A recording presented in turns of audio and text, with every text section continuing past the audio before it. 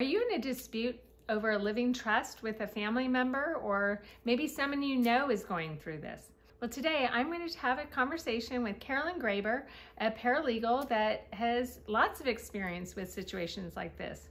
So stick around.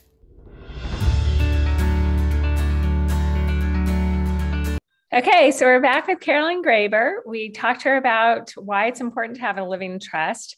But today we're going to talk about um, how to handle a dispute with a living trust. Typically, you're maybe fighting and arguing with a loved one, and it's never happened to me or any of my clients. But Carolyn, unfortunately, this is something you know all too well. So tell us what happens when there's a dispute. Well, I work on both ends. So let's say on one end, there's a person that's very upset that he knows, let's say the mother or the father were not of sound mind, that the trust was being created at the time. What they're going to do with the court is file a petition to dispute it. And the burden of proof, of course, is going to be on them. And then I do get a lot of calls from the other side where we need to oppose it. For instance, I have a client as we speak, I'm dealing with that right now. Oh. So I told her to get like to prove her mother was of sound mind, to get like letters from a doctor, which she did, which is good and letters from the family at the time that when she was creating the trust, she was perfectly could make sound decisions. Okay. The doctor from the letter is going to hold a lot of weight in court because that's going to be solid for their case. You know, fighting against a family member getting, you know, XYZ percentage, like a lower percentage. So this is this has happened, it's common, it'll come up. Because a lot of people did you find oh, it's more that someone is dispute well i guess it's that's probably a dumb question but it's more of a family member's disputing what they're getting or it's a family member disputing that they were sound of mind when they did it? Well i guess it's the same it's both sides. That's what they're disputing. yes, yes. no, no, no question is ever done yeah. No no all questions you know i'm trying to wrap my brain around where's where's the yeah and and there's so much to learn because even being 30 years in this business like uh, i learn something new every day. It could just be a new code a new this and you know it comes up.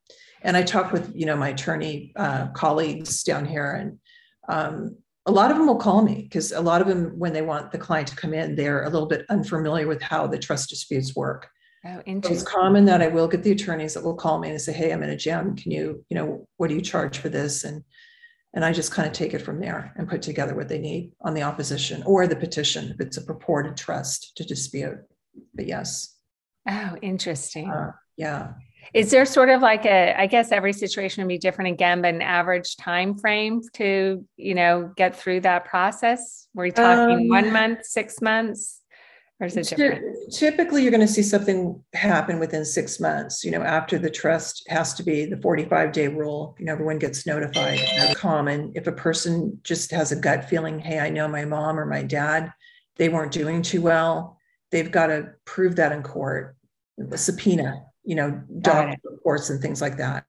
So I, I do get into complex issues. Yes. You wow. Know, but that can happen.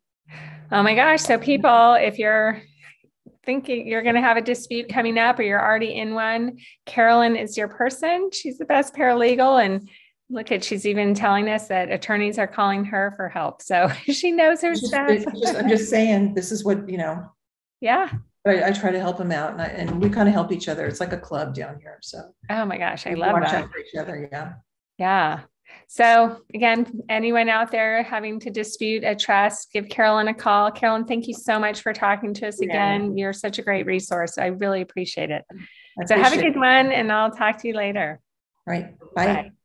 Well, thanks for watching. I hope you got something out of that. Carolyn is just a fantastic resource. If you or someone you know needs a living trust, is going through a dispute, give her a call. I'm Annie. Don't hesitate to reach out with any questions about real estate. And until next time, have a great one.